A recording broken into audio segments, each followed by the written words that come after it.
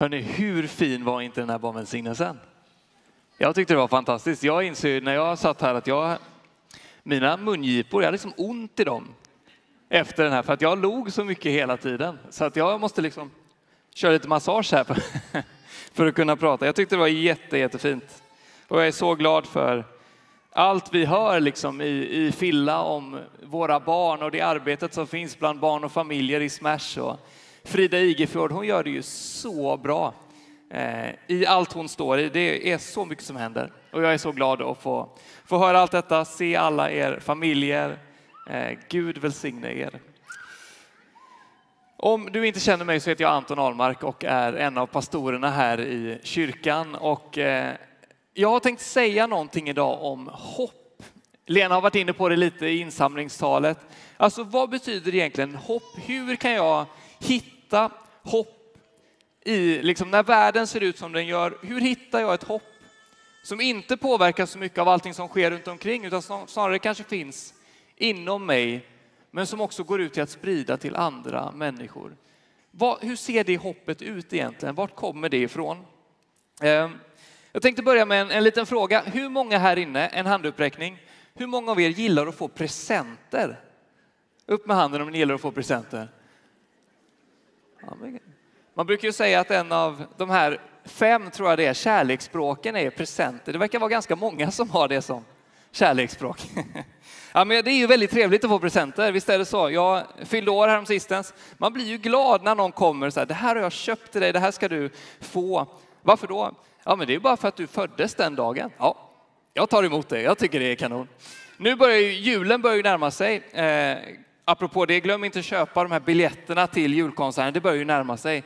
Och idag är det ju fars dag. Har du inte löst present till fars dag än? Julkonserten. Säg inte att det var jag som sa det, men du kan köpa det och så kan du ge det till din pappa och säga nu ska vi gå på julkonsert tillsammans. Men julen börjar närma sig, det är ju bara några veckor kvar på det här året. Jag tror att jag räknar till att det bara är sex söndagar om man inte räknar med den här söndagen på det här året. Är inte det otroligt? Eh, tiden går så snabbt och jag kommer ihåg när jag var liten och det var en stor stund att få skriva önskelista. Ni vet, man satte ju sig ner, man tog fram något papper, man letade fram någon penna och så skulle man ju skriva så här, vad önskar jag mig? Och när jag minns tillbaka på de här önskelistorna, man var ju totalt gränslös när man skrev dem. Först kunde man ju skriva, jag önskar mig en basketboll och sen önskar jag mig en skateboard och sen önskar jag mig en helikopter. Och så bara, man, det fanns ju liksom inga gränser, man kunde ju önska sig vad som helst. Och det var det min mamma sa till mig ofta, man kan ju alltid önska sig. Då visste man att det där kommer jag nog inte få, men man, man kan ändå önska sig. Eh, och när man skrev den här önskelistan, det var ju saker som man liksom hoppades. Tänk om jag skulle kunna få detta. Nu ska jag ta dig med till en bibelvers. Eh, det är faktiskt bara en vers som Paulus skriver i Romarbrevet, som är utformat som en bön. Som är liksom, det här hoppas jag att ni ska få av Gud. Och jag hoppas att när du lämnar den här gudstjänsten att du ska veta att ja, men det här är några saker som Gud vill ge till dig. Några saker som Gud vill ge till dig. Så gå med mig nu till Romarbrevet kapitel 15 och vers 13. Så här står det där. Må hoppets Gud fylla er tro med all glädje och frid och ge er ett allt rikare hopp genom den helige andens kraft. Alltså här har vi en väldigt koncentrerad vers som innehåller så mycket saker. Och jag tänkte egentligen, jag säger det direkt vad jag kommer säga och så kommer jag utveckla det lite eftersom. Men jag skulle vilja säga några saker, tre saker som Gud vill ge dig. Och det är, han vill ge dig glädje, han vill ge dig frid och han vill ge dig hopp.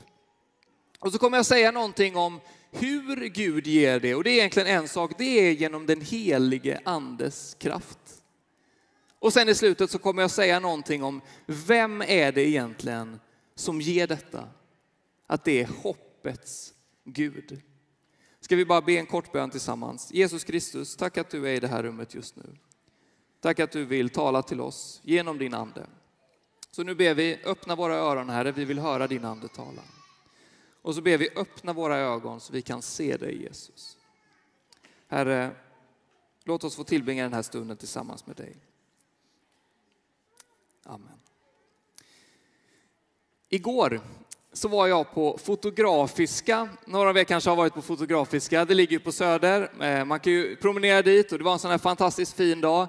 Och så gick vi dit. Jag har haft mina föräldrar på eh, besök här och jag och min fru då och de gick till Fotografiska för där har de en utställning nu som TT, alltså den här nyhetsbyrån, har gjort när de har samlat ihop senaste hundra åren, alltså från 1920 till 2020 alla, eller inte alla, det finns ju miljontals bilder, men ett urval av de bilderna som har tagits, som har använts i olika nyheter.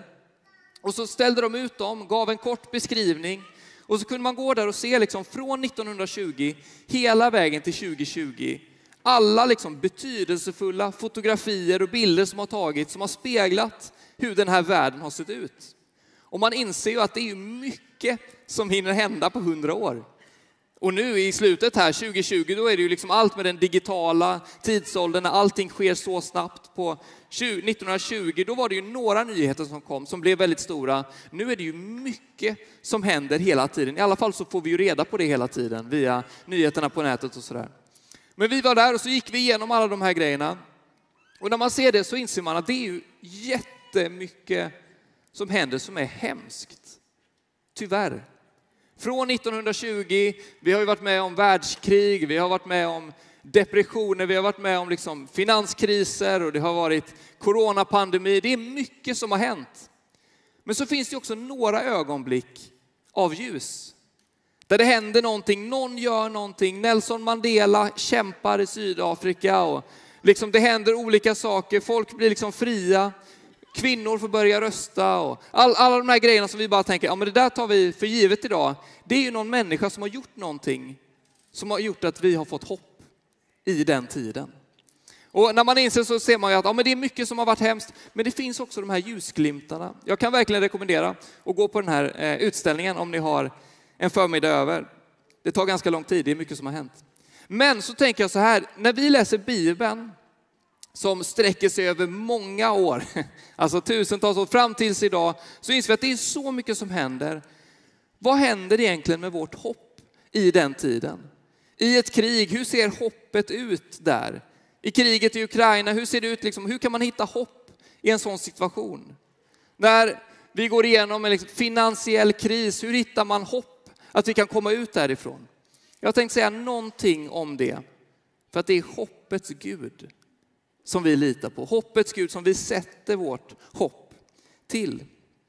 Men det första då, någonting om vad Gud vill ge. Jo, men Gud vill ju ge glädje, frid och hopp för framtiden.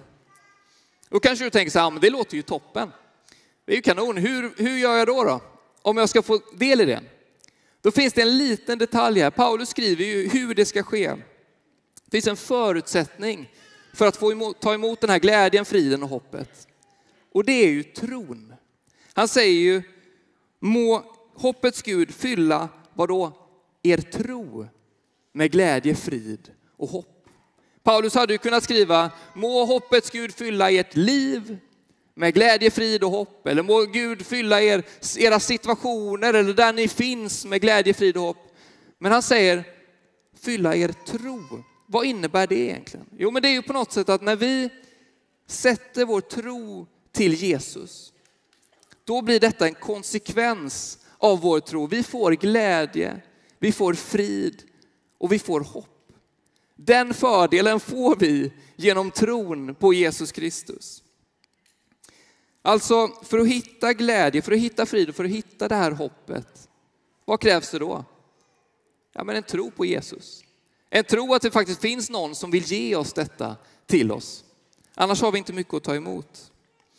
Och det finns en person, nu är det ju passande när det ändå är fars dag. Jag vill också säga grattis till alla fäder här inne. Och så skulle jag också vilja säga stort grattis till alla andliga fäder. Det är ett ord man kanske mest använder inom kyrkan sådär, men de som har varit liksom förebilder i tro. Jag kan räkna upp ganska många sådana i mitt liv som har fått vara förebilder när det kommer till min tro. Jag tycker att vi ska hylla dem också. För jag har många sådana i mitt liv. Men jag ska säga någonting om någon som kallas för trons fader. Vem är det? Jo, det är ju Abraham. En av de här riktiga giganterna i Gamla Testamentet, en av de här patriarkerna som jag har fått vara med och påverka så mycket. Alltså, han var ju en, egentligen en helt vanlig människa. Abraham fick ett möte med Gud. Gud kommer till honom och så säger han så här i slutet på Abrahams liv. Herren sade till Abraham, du ska lämna ditt land, din släkt och ditt hem och gå till det land som jag ska visa dig. Jag ska göra dig till ett stort folk, jag ska välsigna dig och göra ditt namn så stort att det ska brukas när man välsignar. Då tänker man, ja, bra, han fick ett uppdrag. Han ska lämna sitt land och så ska han gå dit och så ska han bli ett jättestort folk. Det är bara att det finns ett litet problem, eller ett ganska stort problem. Och det är att Abraham var supergammal. Man tror att Abraham, han var runt 100 år när han då blev pappa sen. Och, och Sara då, hans hustru, hon var 90. Och, och det finns ju liksom biologin, eh, den här klockan som man pratar om ibland, den jobbar ju lite emot Abraham och Sara här. Alltså hur ska de kunna bli mamma och pappa? Allting verkade kört. Men så säger ändå Gud att om ni ska lämna det här landet, jag ska göra er till ett stort folk, man ska använda ert namn eller Abrahams namn när man välsignar. Vad betyder det egentligen? Hur, kan man, hur kan man liksom lita på detta? Jag kan ju tänka om jag hade varit Abraham då, 100 år, 100 år gammal liksom. Ja, det finns nog andra personer som kan göra det bättre. Alltså man skulle ju lite ifrågasätta Guds liksom, eh, rekrytering. Eh, kan du inte ta någon som är liksom mellan 20 och 30, någon som har ganska mycket energi? Jag är 100 bast. Ta någon annan. Men Gud säger ändå, ja men Abraham, dig vill jag ha, du ska gå dit och jag ska göra det till ett stort folk. Och vad gör Abraham då? Han går ju dit. Han lämnar sitt land och han går dit där Gud visar honom. Han liksom litar på att det som Gud har sagt, att det ska bli sant. Och så går han dit och ni som känner berättelsen vet att ibland så tar ju människan liksom egna initiativ. Så han säger, det här, det här kommer bli svårt. Eh, och Sara hon är gammal. Och, men jag har ju en slavflicka. På den tiden kunde man ju ha slavar. Hagar, hon är ju ung. Det är bra. Då liksom eh, får jag barn med henne och så blir, så, sen kan det bli liksom ett stort folk. Men det var inte Guds tanke, utan Gud säger att men Sara, det är du som ska bli mamma här, du ska få ett barn. Och ibland så gör ju vi, e- vi tar ju egna initiativ ibland i livet när vi tänker att ja, men det här, så här löser jag det. Men det är som att Gud ibland har en högre plan för vårt liv. Och så är det med Abraham. Och Gud kommer tillbaka till honom och säger, nej, nej, nej, det är Sara som ska föra detta framåt. Eh, som ska bli det här, ge dig det stora folket. Det är som att Gud säger, om det bara hade varit du Abraham, om du skulle kunna lösa alla dina problem själv, ta alla dina egna initiativ, då skulle det inte bli så bra. Det skulle faktiskt vara omöjligt. Men nu så kan Gud göra det omöjliga möjligt. Det står i Bibeln att ingenting är omöjligt för Gud. Och jag vet inte, jag har inte sett så många hundraåringar på BB, men det verkar som att för Gud så är allt möjligt. Det kanske är ett töntigt exempel, men på något sätt säger detta att om en Gud kan göra någonting som tidigare inte fanns och så kan han göra det möjligt. Hur sker det? Ja, jag vet egentligen inte. Men jag väljer att lita på att det faktiskt är sant. Det är därför vi varje söndag här i veckorna när vi samlas för bön i församlingen ber att Gud ska göra det som för oss är omöjligt.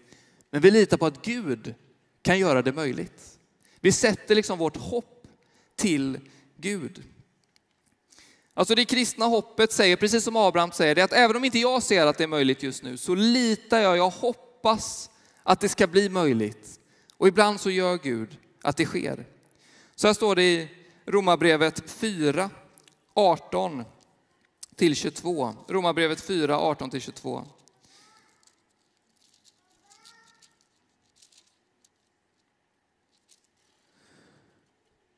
Det står så här. Abraham kommer ju till en plats när han tvivlar ganska mycket. Hur ska detta gå egentligen? Han hade litat på Gud, han hade lämnat sitt land. Han hade gjort det som Gud sa, han hade liksom tagit egna initiativ, försökt lösa situationen. Men det verkar inte som att Sara blir gravid. Och så står det så här i Romarbrevet. Där allt hopp var ute höll Abraham fast vid hoppet och trodde så att han kunde bli far till många folk.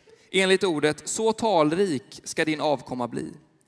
Han sviktade inte i tron då han tänkte på, hans egen kropp, på att hans egen kropp var utan livskraft. Han var omkring hundra år gammal. Och att Saras modersköte var dött. Inför Guds löfte tvivlade han inte i otro, utan fick kraft genom tron. Han gav Gud äran och var förvissad om att, det, om att det Gud har lovat kan han också infria. Därför räknades han som rättfärdig. Alltså Abraham, den här trons fader, han väljer att säga, men jag ser inte vägen. Jag vet inte hur det här ska kunna gå. Jag har gjort det som jag upplever att du har sagt nu Gud. Nu får du liksom på något sätt steppa upp här. Jag har gjort min del av överenskommelsen, nu får du komma in. Och när allt hopp var ute, när inte Abraham såg någon väg framåt, vad står det då? Jo, men det står att han håller fast vid hoppet. Hur håller man fast vid ett hopp när allt hopp är ute? På något sätt kan det bara ske när Gud är inblandad, tänker jag.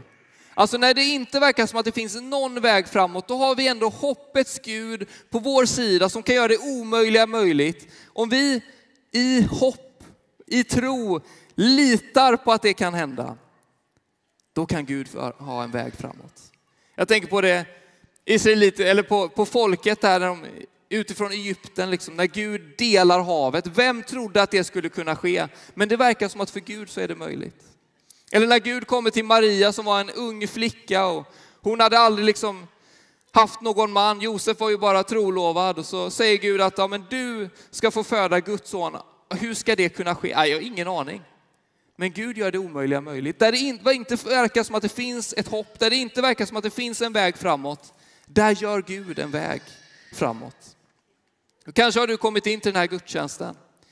Kanske är det liksom den sista gången som du tänker, ja men jag, jag ser inte vägen framåt. Om du har varit i den situationen eller om du är det just nu, då vet du hur, hur det känns. Och så kanske du säger, ja, men jag ser inget hopp fram, men jag väljer ändå att sista gången att säga, i hopp så litar jag på, jag hoppas att Gud ska ta mig igenom det. Vad vill Gud göra då? Jag tror att han vill göra en väg framåt för dig. Att han vill öppna en dörr som kanske tidigare har varit stängd. Han vill visa dig en väg som du tidigare inte såg själv. Han vill ge dig glädje till dig som inte känner någon glädje. Han vill ge dig frid, du som känner oro runt omkring dig. Och du som inte vet vägen framåt, vad vill han ge dig? Han vill ge dig hopp. Att det finns en väg framåt. Precis som Abraham inte såg vägen framåt så kan du säga, men jag vet inte hur det ska ske. Men jag väljer att lita på Gud i detta. Han ska ta mig igenom. Så Paulus säger alltså att han vill ge glädje. Vad betyder glädje egentligen? Ja, men om man googlar lite på detta så kan man se att egentligen så finns det tre stycken olika typer av glädje. Den första glädjen, det är någonting som kallas för på något sätt situationsanpassad glädje. Ja, men du vet, jag var på, eh, jag var på en, en, eh, fotbollsmatch och mitt lag vann. Ja, men det var någonting som hände, jag blev glad. Eller jag var på ett kalas och det var många roliga människor där. Vi hade kul tillsammans. Situationen gjorde att jag blev glad. Ni är med på den grejen. Det är situationsanpassad glädje. Och sen finns det en andra typ av glädje och det är mer av en sanningsglädje. Om man tar Bibeln som exempel. Jag har läst igenom allt som handlar om att Gud älskar mig och summan av det, det gör att jag blir glad. För jag inser att jag är älskad av Gud. Eller andra saker. Jag har liksom lyckats, på något sätt så har jag lyckats addera olika saker tillsammans och resultatet av det har blivit glädje. Men sen finns det en tredje glädje och det är den glädjen som kommer via den heliga ande. Och det är en glädje som inte beror av situationer, omständigheter, som inte beror av att jag har liksom kunnat räkna mig till det eller egentligen förstått det, utan som jag bara kan ta emot i tro. Jag tänker att det är på något sätt den glädjen som Abraham får liksom känna sen när han får bli ett stort folk. Han såg inte vägen framåt, han kunde inte se det liksom, eller addera det ihop, men Gud gjorde det möjligt. Jag tror att Gud vill ge dig som känner, ja men jag behöver en glädje nu, situationerna är tuffa. Jag kan läsa om de här grejerna men det biter inte riktigt på mig. Kanske behöver du ett möte med den helige ande idag. Där anden bara får visa dig hur god Gud är. Alltså det är någonting som man tar emot, inte någonting som man går och plockar. Man tar emot det. Och så säger, så säger Paulus att han vill ge hopp för framtiden. Alltså hopp, det är ju någonting annat än att hoppas på någonting. Vi har ju ganska mycket förhoppningar, typ önskelistan. Jag hoppas att jag får en helikopter. Jag tror inte att det kommer ske, men jag kan ändå hoppas på något sätt. Vi hade en, en sån, jag hade en sån situation, jag och min fru, när vi skulle gifta oss. Vi gifte oss för ett tag sedan och så tänkte vi nu, nu måste vi hoppas här. Vi, vi bestämde oss under pandemin att vi vill gifta oss ändå. Och vi ska vara utomhus i maj. Och ni som liksom på något sätt vet lite om svensk eh, väderlek vet ju att maj är en ganska osäker tid. Det kan vara högsommar, stor seger. Det kan också vara regn och snö liksom. Man vet ju aldrig. Maj är lite oklart. Och vi hade det, vi tänkte, ja men vi hoppas ändå, vi ska vara ute, vi ska vara på eh, min fru då Elins eh, landställe på bryggan där och det kommer bli fantastiskt. Vi bjuder in närmsta familjen. Och så, så hoppas vi att det ska bli bra väder. Ni vet, vi, ganska många saker kan man ändå lägga i ordning. Vi vet vad vi ska ha för mat, vi kan köpa bra kläder, man kan köpa en ring som känns bra. Men vädret kan man ju inte styra av när man ska vara utomhus. Eh, så vi hoppades där då. Två dagar innan så regnade det. Inte så lite, utan det regnade ganska mycket. Och vi tänkte, ja men det hinner gå över. Det blir bra.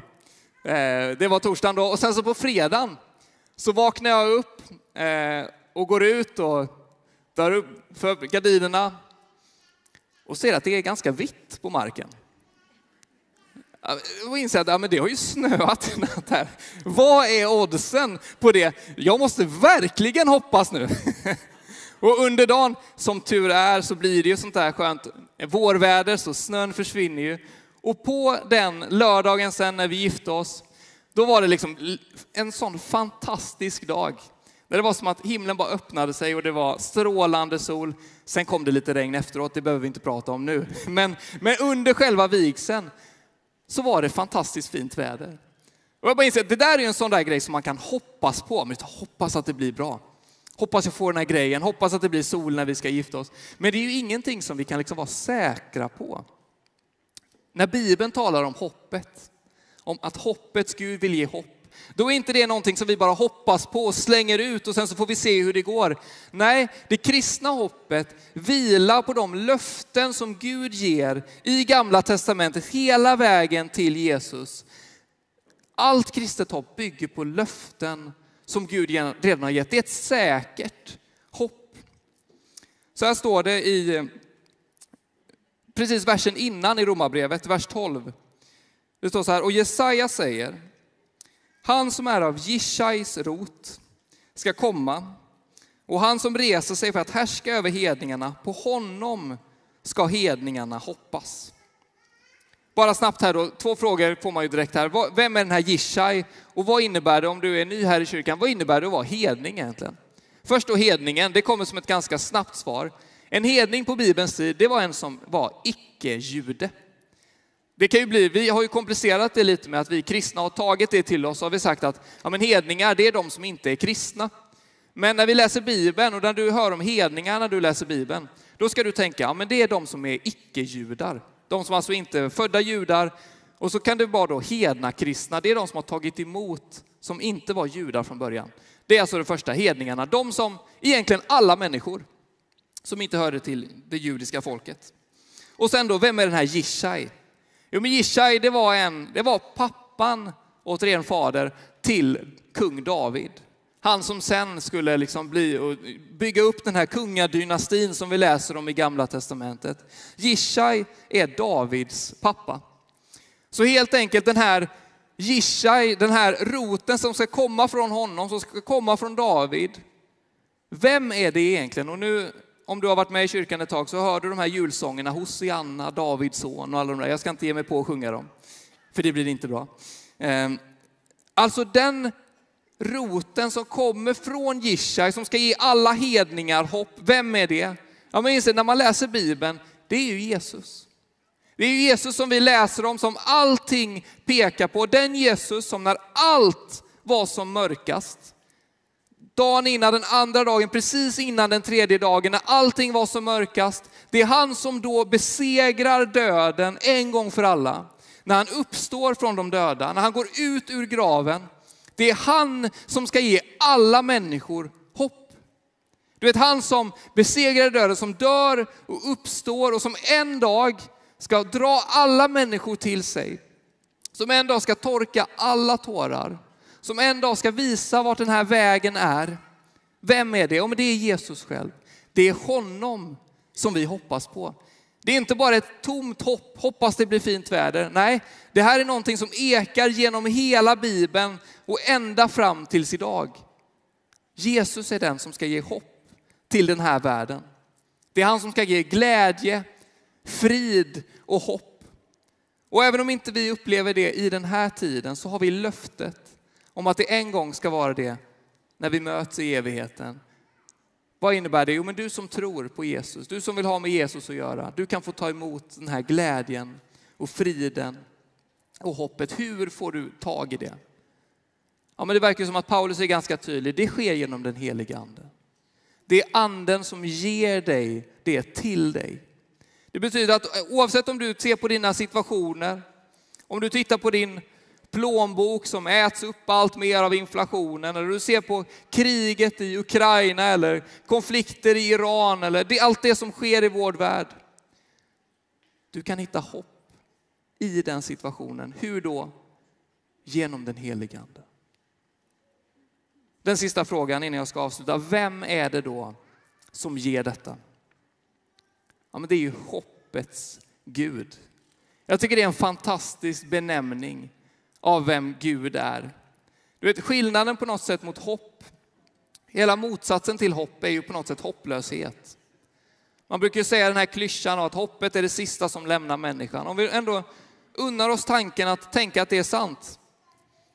Om vi då inte har hopp, vad är det? Ja, men då är det ju tomhet. Då finns ju inte mycket kvar. Men du vet, jag är så tacksam till att Gud inte är tomhetens Gud utan vadå? Hoppets Gud. Tänk att det liksom är det som får prägla Gud. Vad vill Gud ge till den här världen? Han vill ge hopp för framtiden. Han vill säga att det inte är kört, även när du, precis som Abraham, kanske inte ser vägen framåt. Vad kan Gud göra då? En väg framåt. Han kan öppna de dörrarna som verkade vara stängda. Han kan ge dig en glädje som inte beror av omständigheterna utan utifrån att de är givna av Gud själv genom den helige Ande. Och han kan ge dig frid att veta att om relationen till Gud, den är bra genom Jesus Kristus. När Jesus dör på korset så tar han all synd på sig och när han uppstår tre dagar senare, då är det som att han öppnar vägen upp till himlen och så säger han att i den här världen så kommer vi ibland få lida. Det kommer kunna bli tufft. Men om du håller fast i mig, jag som är hoppets Gud, då vet du att det finns en evighet som väntar på dig i himmelriket. Där kommer vi inte längre att känna något lidande, där kommer det bara vara glädje. Där kommer vi inte känna någon oro, där kommer det bara vara frid. Där finns det inget som vill ta bort vårt hopp. Varför då? Jo, för att vi är hemma hos hoppet själv, hos hoppets Gud. Nu ska vi snart öppna upp förbönsplatserna. Och kanske så, du kan få komma dit, de vill gärna be för dig. Vi kommer ha förbön på vardera sida här. Kanske så ska du komma dit, oavsett vad du vill be för, men kanske ska du komma dit om du känner att jag skulle behöva hopp för framtiden. Och inte då ett hopp om att ja, men jag har en lösning själv på detta. Kanske ska du gå dit när du ser, jag ser inte vägen framåt. Men jag väljer att lita på när allt hopp var ute, hoppades ändå Abraham. Han är en förebild i detta med tro. Så kanske om du känner att ja, jag skulle behöva mer glädje, frid eller hopp, kanske ska du gå till förbön idag. Eller ska du gå dit om du har något, vad som helst vill de be för. Men innan vi sjunger tillsammans så skulle jag vilja bjuda in dig, du som känner, ja men det här som du säger nu Anton, det här har jag inte hört innan, men jag skulle vilja få del av det. Jag skulle vilja ta emot Jesus i mitt liv. Jag skulle vilja säga att den som du berättar om, den som hedningarna, alltså alla icke-judar, den, som de ska hoppas på. Jag skulle vilja tro att det är sant. Jag skulle vilja ha del av Jesus i mitt liv. Då skulle jag vilja bjuda in dig, att du kan ta det beslutet. Så i respekt för varandra, som vi brukar göra här i Filla, så blundar vi och vi böjer våra huvuden. Det här är ett beslut mellan dig och Gud. Och faktum är att jag kommer också bjuda in dig som känner att jag behöver hopp. Jag behöver det här hoppet för framtiden. Det är något som vi kan fylla på. Det är något som inte beror av omständigheter utan bara av att Gud vill ge det till dig. Om du säger, vi tar det först, om du säger ja, men jag skulle vilja få hopp. Jag ser inte vägen framåt, jag vet inte vad jag ska göra. Men tänk Gud om du kan visa vägen. Om du finns här som vill att jag ska be för dig i det så kan du få räcka din hand, du kan göra det nu. Så vill jag be för dig, Gud välsigne dig och dig och dig. Och alla er som lyfter era händer, om du finns här, räck din hand. Gud välsigne också dig. Ni kan ta ner era händer. Och så vill jag ställa frågan till dig som säger, ja men jag skulle vilja ta emot Jesus idag. Jag förstår inte allt, jag har inte levt ett helt perfekt liv, men jag skulle vilja ha med Jesus att göra. Och så skulle jag vilja att den helige ande får röra vid mig på något sätt. Rätta till de där skavankerna som finns. Ge mig den här glädjen och friden och hoppet som jag så gärna skulle vilja behöva. Om du finns här som vill ta emot Jesus så kan du få räcka din hand. Du kan göra det nu så vill jag be för dig. Om du finns här. Vi ber tillsammans. Jesus, Herre tack. Ja, vi vill egentligen bara börja med att säga tack. Tack för din godhet och nåd. Tack att du valde att skapa en väg där det inte verkade som att det fanns en väg. Tack att du är hoppets Gud, Herre. Och Herre, när vi ser på vår värld, när vi vet vad som pågår, Herre, och när vi bara undrar hur ska det här gå, så bara vill vi sätta vårt hopp till dig. Och så vill vi be att du ska visa oss vilken väg vi ska gå. Herre, vi ber för alla som har räckt sina händer. I respons på att få mer hopp, glädje, frid. Att få känna att ja, men mina omständigheter, de finns där. Jag blundar inte för dem, men jag tror att Gud kan ta mig igenom dem. Herre, kom med hopp till de människorna. Kom med ny energi, kom med kraft genom din Ande, Herre. Vi ber så i Jesu namn. Amen.